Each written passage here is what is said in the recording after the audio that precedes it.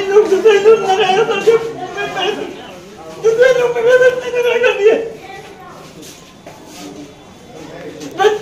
भैया आप ये चीज़ करो होगा होगा भैया वो चीज़ करो होगा होगा जब तक बच्चे को मेरे गोद में बैठाए बैठाए बैठाए बैठाए तीन बजे के बाद जाकर काम किए एक बात बनता है चलिए ठीक है हम लोग भूखा प्यासा मर रहे हैं। बैठ जाइए। आराम से बैठ जाइए परेशान मत होइए सब सही होगा। बोला कि बच्चा आपका यही है आपको हमने पर्ची बदलना हम भूल गए बच्चे को बदल दिया लेकिन पर्ची नहीं बदले ये लोग। जब बच्चा बदला है तो आप पर्ची भी बदल दीजिए। बिंदु सामने आ रहा है कि जो स्टाफ हैं डॉक्टर हैं वो कह रहे हैं कि अगर आप डीएनए में सही नहीं पाए गए तो हम आपको जेल कराएँगे हम आपको छः महीने की गिरफ्तारी कराएँगे। डीएनए टेस्ट को लेके ये बोल रहे हैं कि डीएनए टेस्ट होगा तो पुलिस अगर आप लोग गलत निकल गए तो पुलिस पुलिस वाले को बोलेंगे कि छः महीने के लिए बंद कर दीजिए। भाई हम हाँ हाँ।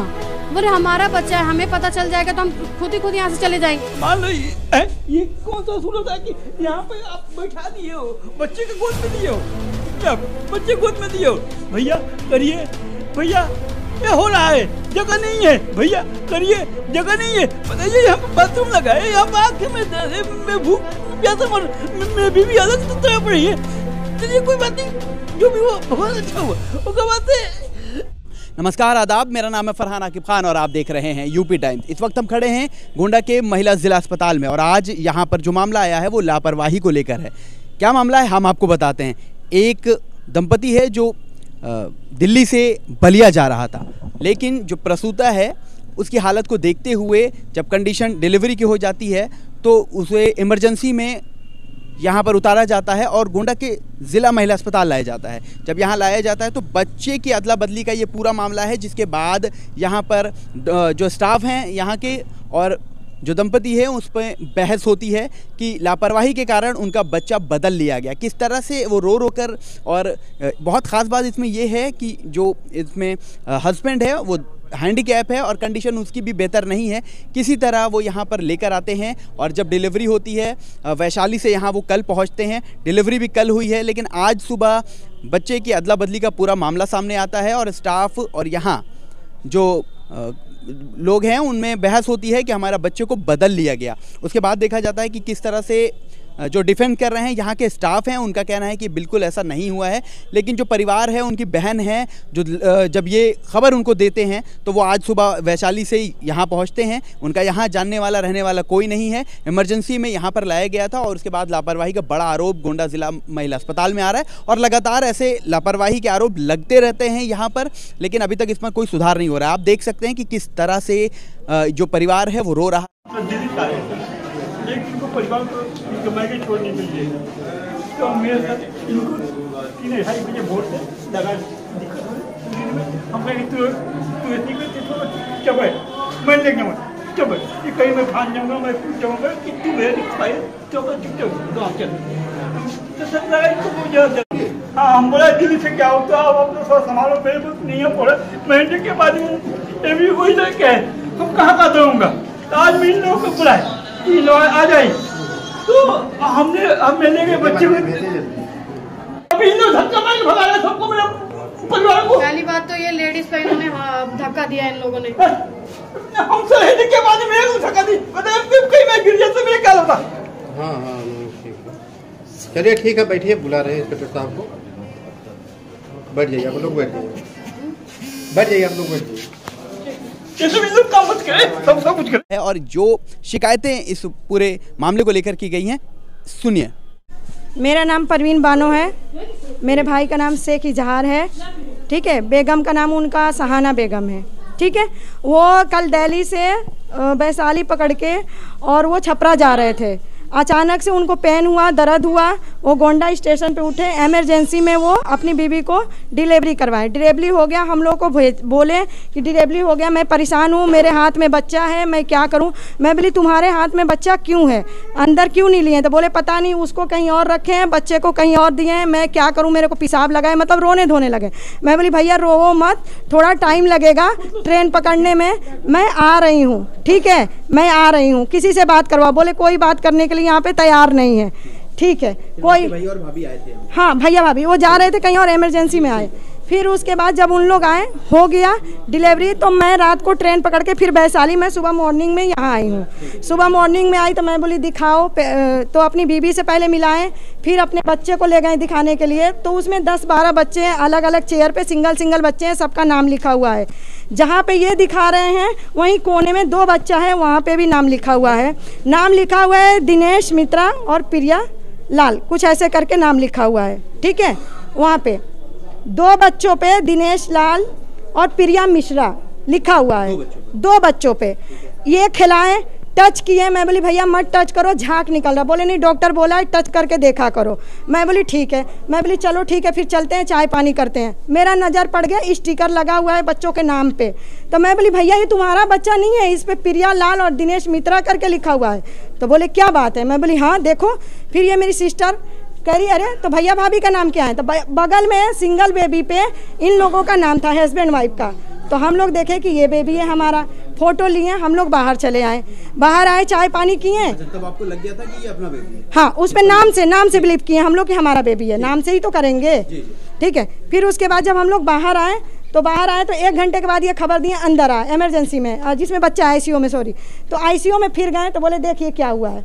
तो वो अब क्या किए कि बेबी सेम है। जो जगह पे बेबी है बेबी सेम है। बट नाम इधर से उधर कर दिए हैं। अच्छा जो प्रिया मिश्रा था उसको इधर कर दिया? सिंगल बच्चे पे। सिंगल बच्चे पे। आ, जो इजहार शेख है वो डबल बच्चे पे। वहाँ पे भी डबल बच्चा है तो वहाँ पे भी दो माता पिता का नाम होना चाहिए। ये लोग नहीं बोले। उसमें भी बहस हो सकता है। उसमें भी दो बच्चे हैं तो हम क्यों पता नहीं कि हमारा बच्चा कौन है? एक बच्चे का सिर्फ़ नाम है। जब आपने यहाँ पे इन्फॉर्म किया इस चीज़ को लेकर? तो ये लोग बोल रहे कि नहीं बच्चा आपका यही है। क्या कहा गया? बोला कि बच्चा आपका यही है आप हमने पर्ची बदलना हम भूल गए बच्चे को बदल दिया लेकिन पर्ची नहीं बदले ये लोग। तो जब बच्चा बदला है तो आप पर्ची भी बदल दीजिए। नॉर्मल सी बात है। हाँ ब- हाँ पर्ची बदलना भूल गए बच्चे नहीं बदलना भूले ये लोग। पर्चे बच्चे बदल दिया। कंडीशन जब आपने पहले देखी थी नाम के साथ तो नाम के नाम के साथ बच्चा था। हमें लगा हमारा बच्चा यही है। अब तो पर्ची पे ही जैसे क्या होता है? इंसान का आधार कार्ड होता है तभी ना उसका प्रूफ पता चलता है कि भाई ये मधु है या ये परवीन है या ये इनका जो नाम होगा उससे पता चलता है। नॉर्मल सी बात है। अब कोई भी पर्ची इनका आधार कार्ड ला के दे देगा तो इतनी समझेंगे ना कि ये यही है। तो बच्चे का जो नाम वहाँ पे था जो माता पिता का नाम रहेगा हम वही समझेंगे बच्चा वही है।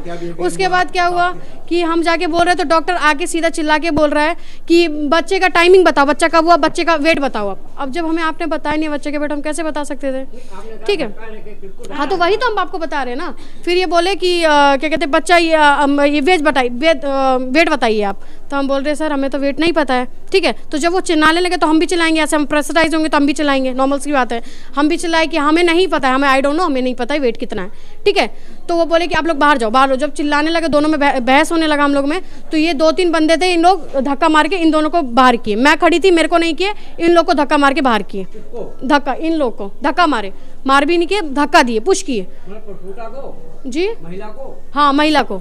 इनको पुश किए और इनको पुश किए कि आप लोग बाहर जाइए। ठीक है? उसके बाद हम जब आ, क्या कहते हैं नॉर्मल पता नहीं कौन सा विंग में वो लेके गए हम लोग को कौन से लेबर रूम में लेके गए।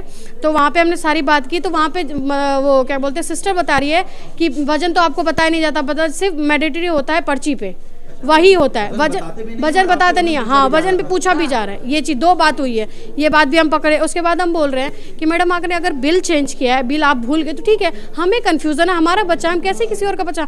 अब मान के लीजिए हम बच्चा ले जाएँगे। चलिए हम आपके प्रेशराइज से हम बच्चा ले गए। हम ज़िंदगी भर तो यही सोचते रह जाएँगे कि बच्चा ये है हमारा हमारा नहीं है पता नहीं किसका बच्चा है। नॉर्मल सी बात है। आप भी मूवी में देखते होंगे।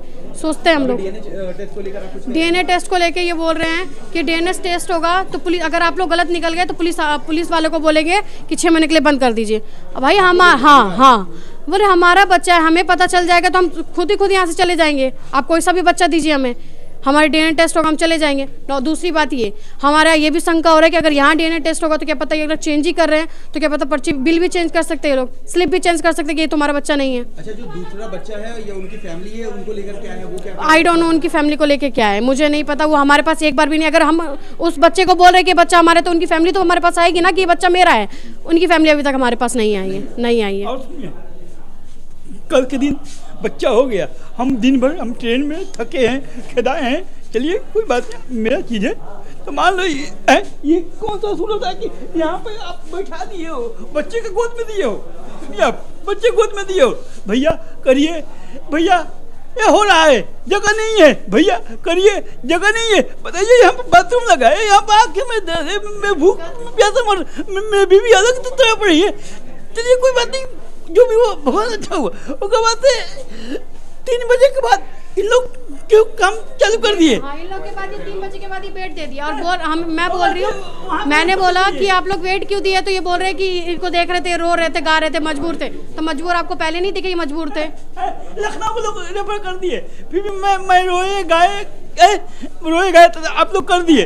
तो आप लोग को उस समय आप लोग को नहीं था बेड। आखिर बच्चे के थी करे। अब आप लोग दो दो, बेड पर रखे बच्चे। उसी जब आप लोग कर दिए तब तक मेरे बच्चे की हाल नहीं होता था।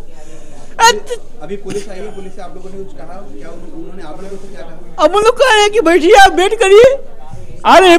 बड़े सर आप सर आ रहे हैं तो वो बात करेंगे। जब जब भैया अब बैठिए। हो रहा है जगह नहीं है आज के दिन तीन बजे के बाद से जगह हो गया एक ही एक ही बेड पे दो बच्चे रखे हो उसी तो आप लोग उस दो बच्चे को रख दिए होते जो आप अभी रखे पड़े हो सब बंदे देखने वाले है सब बंदे कर रहे हैं कल से सारे बोल भी रहे हैं कि ये हॉस्पिटल का हाल यही है हॉस्पिटल में सब बोल रहे हैं कि हॉस्पिटल का हाल यही है। यहाँ पे ड्रामा होता ही रहता है। अच्छा। हाँ और वो डॉक्टर बोल रहे हैं कि आप पहले केस वाले हो कि जो यहाँ पे हो रहा है। अब हम किसका विश्वास करें? तो सुना आपने क्या कहा?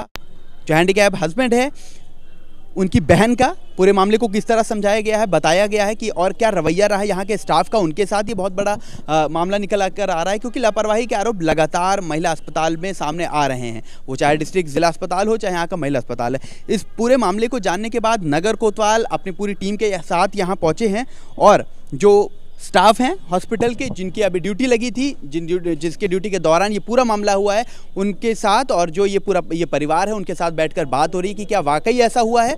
अब इसमें जो बहन है जो आई हैं दिल्ली से उन्होंने भी यही कहा कि हम चाह रहे हैं इसमें डीएनए टेस्ट हो और मामला क्लियर हो जाए कि क्या वो बच्चा हमारा है या नहीं है। लेकिन एक बहुत बड़ी इसमें ये बिंदु सामने आ रहा है कि जो स्टाफ हैं डॉक्टर हैं वो कह रहे हैं कि अगर आप डीएनए में सही नहीं पाए गए तो हम आपको जेल कराएँगे हम आपको छः महीने की गिरफ्तारी कराएँगे। ये इस तरह का कहना है। खैर अब देखते हैं इसमें नगर को, कोतवाल और यहाँ गोंडा पुलिस किस तरह के कदम उठाते हैं और जो पीड़ित परिवार है जो अभी परेशान है उनको क्या न्याय मिलता है या उनका लगाया हुआ आरोप झूठा साबित होता है? तो हम इस खबर को आपको आगे भी दिखाएँगे कि इसमें क्या होता है। आप ऐसे तमाम अपडेट्स के लिए ऐसी खबरों के लिए देखते रहिए यूपी टाइम्स। में फरहान आकिब खान, मुझे दीजिए इजाज़त, धन्यवाद।